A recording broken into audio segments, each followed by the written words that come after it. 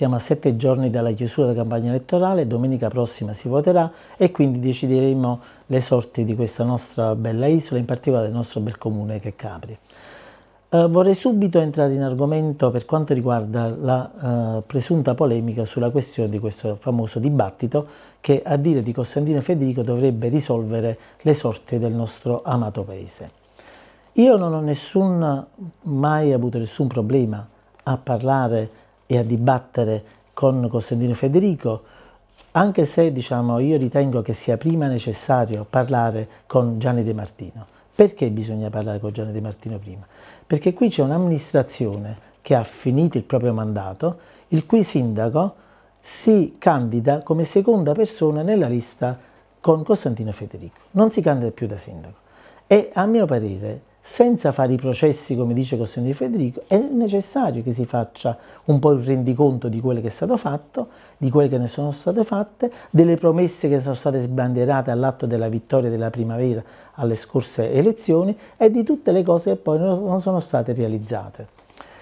Quindi diciamo, la mia idea è che possiamo sicuramente fare un dibattito con Costantino Federico e ti dico una cosa, Costantino, io lo volevo fare in piazza, non per una furbata, perché ho paura di confrontarmi con te, ritengo di avere un minimo di pre preparazione per potermi confrontare con chiunque, ma perché io sono uno del popolo, abituato a stare in mezzo alla gente la mattina e la sera, non sono abituato a stare in ufficio chiuso, io ho un rapporto con le persone sempre costante, 365 giorni all'anno, anche il giorno di Natale.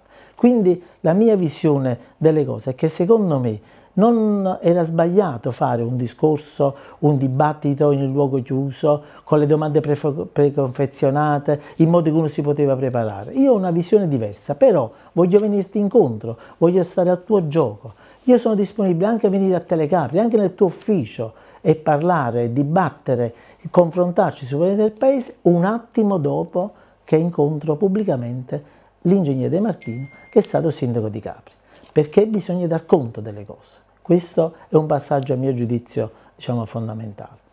Io in questi giorni ho avuto questo tantissimo riscontro di affetto da parte delle persone. La gente mi vuole bene, non mi teme, che è diverso.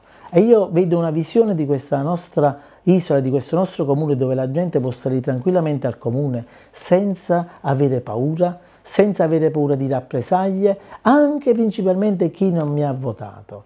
Perché il problema qual è? Io, caro Costantino, non ho bisogno che tu mi faccia a me una lezione di diritto amministrativo. Veramente mi sembrerebbe quasi offensivo che tu mi tratti in questa maniera, perché lo sai che io so come si svolge l'attività amministrativa e tu lo sai cosa, diciamo, come sono stato operativo in questi anni. Quindi diciamo, è una visione diversa che abbiamo. Io penso che il sindaco di un paese deve essere una persona sempre disponibile, sempre pronta a venire incontro alle esigenze della gente e con le idee chiare e a farsi rispettare all'esterno e farsi rispettare dalle istituzioni. Io quando dico voglio essere il sindaco di tutti, voglio essere il sindaco di tutti perché se tu ti ricordi, a mio parere tu sei stato un sindaco in certi periodi molto divisivo, per, delle, per tante polemiche storiche sono state fatte. Molto spesso non sei stato un sindaco di unità di questo paese e quindi la mia visione invece è il contrario della tua. Io voglio essere un sindaco unitario dove la gente non deve avere paura di parlare con me.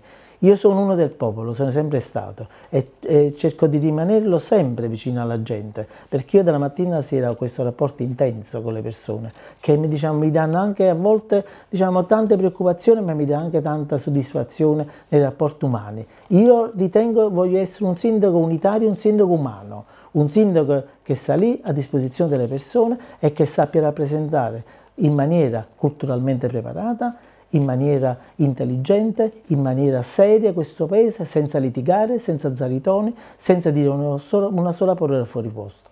Questa è la mia visione del paese. Noi abbiamo parlato in questi giorni di condoni, abbiamo parlato di problemi abitativi, abbiamo parlato di cose serie e tu di che cosa hai parlato? Questo è il problema. La nostra visione è una visione reale, perché io so qual è il problema della gente, so quali sono i problemi abitativi, so i problemi di tutti i giorni delle persone. Questa è la differenza che c'è tra di noi, cara Costantina Federico.